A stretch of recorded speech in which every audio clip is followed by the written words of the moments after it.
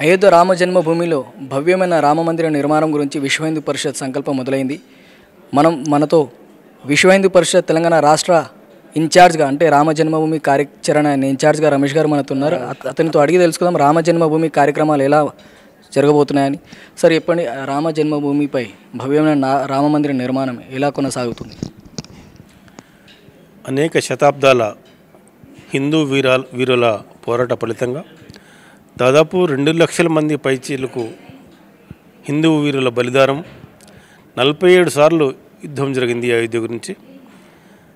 గత నాలుగు దశాబ్దాలుగా విశ్వ హిందూ పరిషత్ అయోధ్యలో ఉన్నటువంటి భవ్య మందిర నిర్మాణానికై అనేక ప్రయత్నాలు చేసి లక్షలాది మంది కార్యకర్తలు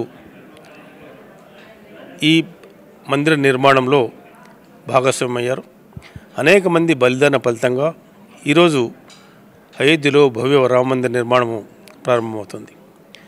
దీని గురించి పెద్ద ఎత్తున దేశం మొత్తం మీద కూడా ఈ రామ మందిర నిర్మాణ నిధి సేకరణ అభియాన్ కార్యక్రమం కొనసాగుతుంది. అందులో భాగంగానే మన తెలంగాణ రాష్ట్రంలో కూడా గ్రామంలో నుండి అన్ని అట్టడుగు గ్రామం నుండి పట్టణ స్థాయి వరకు కూడా ప్రతి హిందూ కుటుంబాన్ని కలిసి ప్రతి హిందూ వద్దకు వెళ్ళి ఈ యొక్క నిధి సేకరణ కార్యక్రమాన్ని కొనసాగిస్తున్నాము. ప్రతి బీద వ్యక్తి కూడా ఇందులో వారి భాగస్వామ్యం ఉండాలని పది రూపాయల నుండి మొదలుకొని కోటి రూపాయల వరకు ఇచ్చేటువంటి ప్రతి వ్యక్తిని వారి వారి స్థాయి వద్ద స్థాయి వారి అనుకూలంగా వారి వద్దకు వెళ్ళి నిధి సేకరణ కార్యక్రమాన్ని మేము కొనసాగిస్తున్నాం.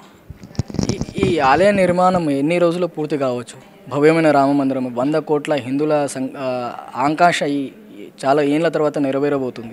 ఆ భవ్యమైన రామ మందిర నిర్మాణం ఇంకెంత సమయం పట్టబోతుంది? ఈ యొక్క మందిర నిర్మాణము ఆల్రెడీ ప్రారంభమైంది.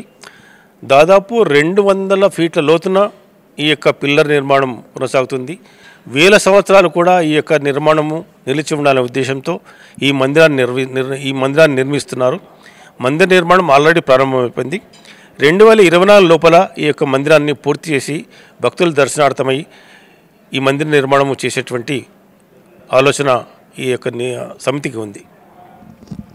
ఇది విశ్వ హిందూ పరిషత్ వారు చేసిన సంకల్పం.